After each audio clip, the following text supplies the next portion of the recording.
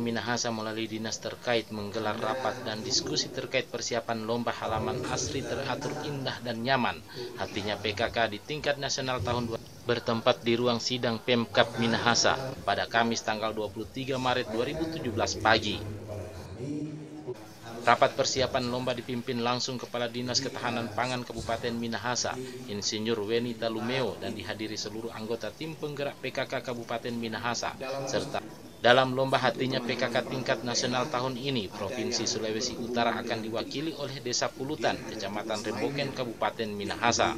Sementara itu dalam arahannya, Kepala Dinas Ketahanan Pangan Kabupaten Minahasa, Insinyur Weni Talumeo meminta perangkat daerah untuk menunjang penataan di Desa Pulutan agar mendapat hasil yang maksimal.